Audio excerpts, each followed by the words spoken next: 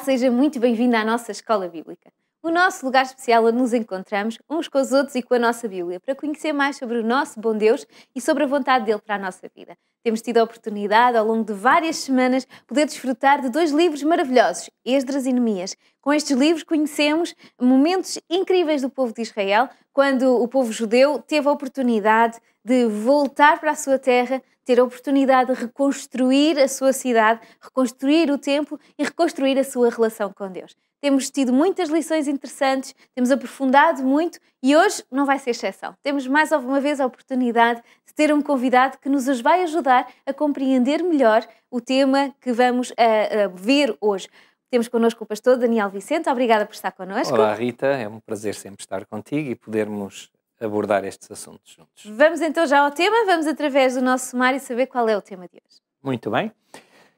Um líder cristão tem influência sobre a vida da sua comunidade para o bem ou para o mal.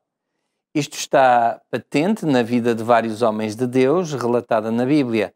Josias, Débora, Pedro, Hulda, junto com Neemias e Esdras, entre outros, são exemplos do tipo de influencer que Deus deseja que sejamos hoje para distinguir os princípios e os valores da palavra de Deus na contracorrente da nossa sociedade.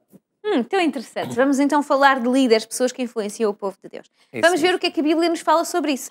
Vamos abrir então a nossa Bíblia, não é? Vamos ao livro de Esdras, no capítulo 8 e no versículo 21. Esdras 8, 21 diz: Então apregoarei um jejum junto ao rio Ava, para nos humilharmos diante da face do nosso Deus. Nossa este apregoar fala-nos de alguém que é um exemplo, é um líder, não é? Nós vamos falar um bocadinho sobre isso. Uh, uhum. Segundo o, o, o, seu entender, o que é, que é necessário um, uma pessoa ter? Quais são as características que são fundamentais para um bom líder? Ora bem, um, um líder é sempre um indivíduo, uma pessoa, que uh, pelo seu exemplo, e nomeadamente eh, sendo um líder cristão, também pelo seu relacionamento com Deus, pela forma como ele vive a sua relação com Deus e, e, e a forma como ele procura a face de Deus, no sentido de procura estar de acordo com a vontade de Deus, ele torna-se, portanto, um exemplo para aqueles que estão à sua volta. É também alguém que, baseado em princípios bíblicos, em orientações bíblicas, em valores bíblicos, em princípios bíblicos, porque estamos a falar de um líder cristão, Exato. procura, através desses valores, desses princípios, motivar os outros, ou seja, ele eh, procura encontrar esperança e motivação para aqueles que eh, ele próprio está a liderar. E depois é alguém que não fica simplesmente pelas palavras, que mete as mãos na massa, ou seja, vai à luta, e que participa e mostra como se faz. Ok, estes são os bons líderes, mas uh, vimos no sumário bons líderes, falámos agora das características de bons líderes, mas na Bíblia também temos exemplos de maus líderes. Bom, mesmo quando falamos daqueles eh, que designamos normalmente por, por bons, bons líderes, líderes uh, uh, temos que ter a noção de que sempre influenciamos aqueles que estão à nossa volta, seja positiva, seja negativamente.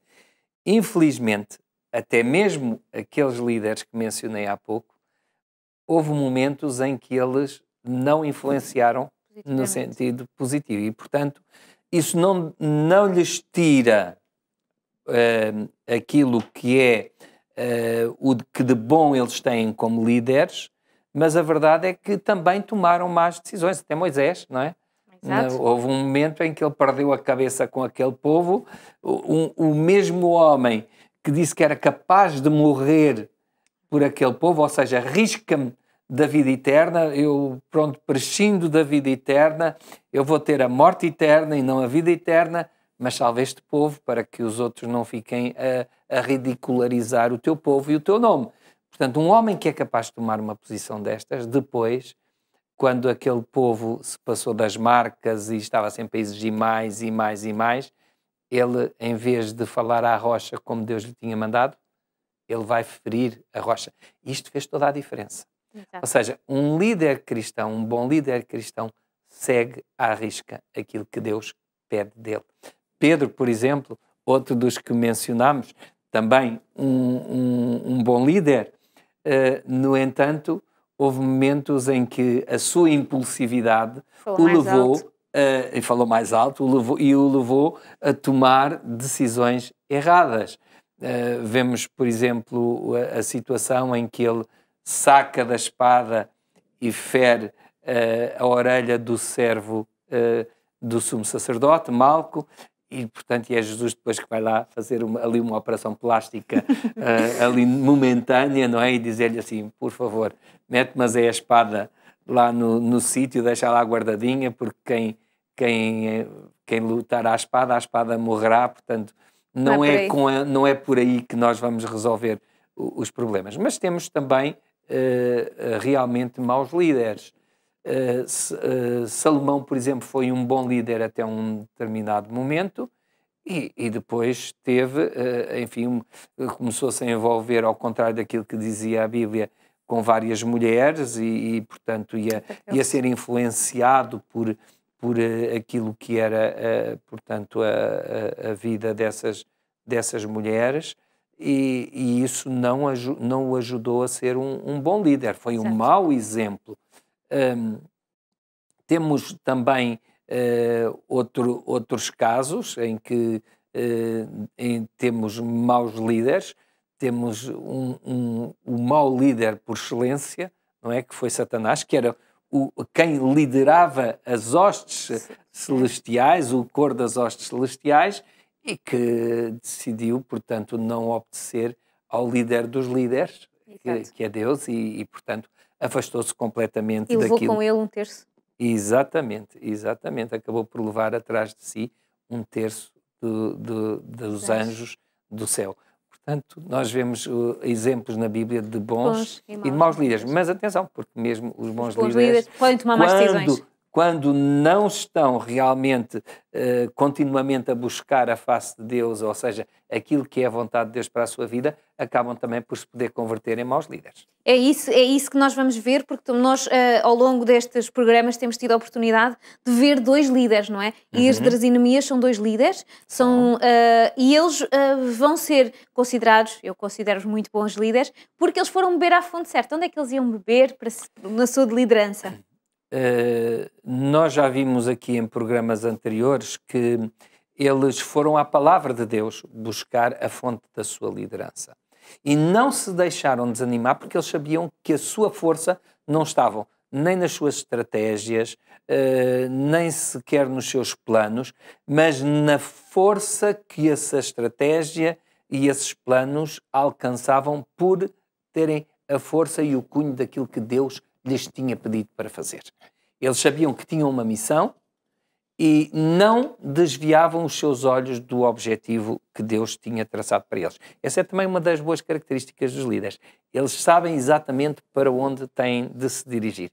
Eles sabem o objetivo e, e procuram, com a ajuda de Deus, um bom líder cristão, atingir esse objetivo que Deus tem para ele.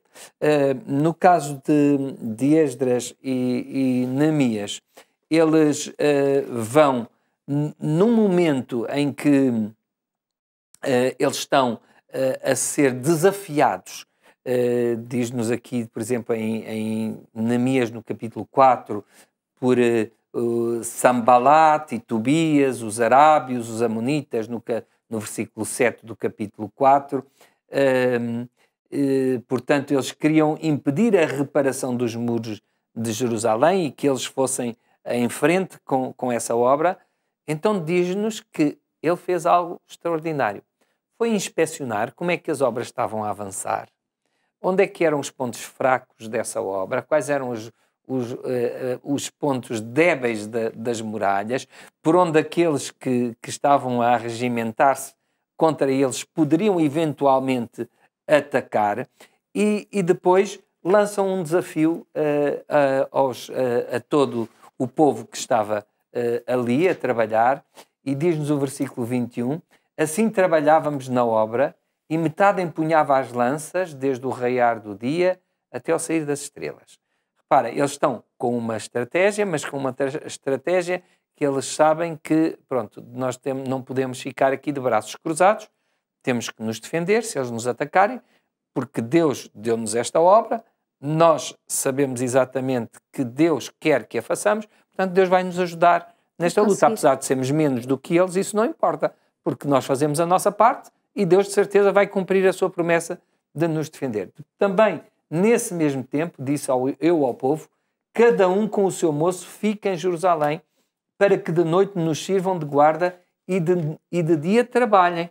Ou seja, eles já não abandonavam a cidade, ele tinha visto que havia pontos débeis da cidade, tinha analisado bem a questão e sabia que era importante permanecerem constantemente 24 horas de vigilância, durante a noite também, enquanto trabalhavam depois durante o dia. E depois diz-nos: nem eu, nem os meus irmãos, nem os meus moços, nem os homens da guarda que me seguiam, largávamos as nossas vestes. Cada um se deitava com as armas à, à sua mão direita. Lembras-te daquilo que, que dissemos no início? O, o líder mete as mãos Exato. na massa. Ele não ficava ele em casa, não é? Ele não ficou sozinha de braços cruzados à espera que as coisas acontecessem.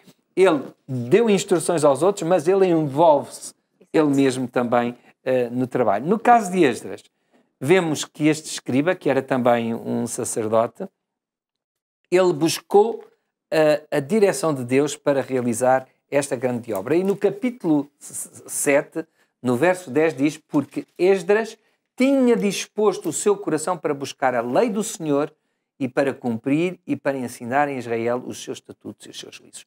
Ele sabia que era importante aquele povo que tinha estado tanto tempo sem a palavra de Deus, agora familiarizar-se com a palavra de Deus. Ele próprio buscou esses ensinos e vai transmitir esses ensinos de forma que o povo perceba e entenda aquilo que está ali e o que é que Deus está a pedir de cada um deles.